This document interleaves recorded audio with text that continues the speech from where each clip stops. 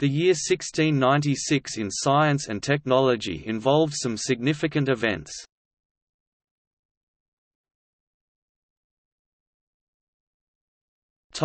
History of science Daniel Leclerc publishes Histoire de la médecine in Geneva, the first comprehensive work on the subject.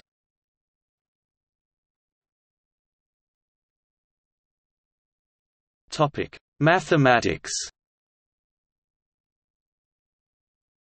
Guillaume de l'Hôpital publishes Analyse des infiniment petits pour l'intelligence des lignes courbes, the first textbook on differential calculus, including a statement of his rule for the computation of certain limits.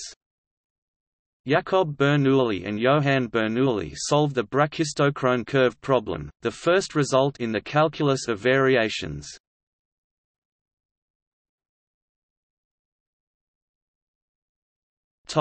Births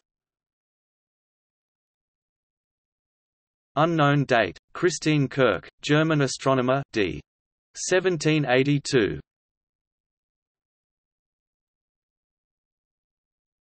Topic: Deaths.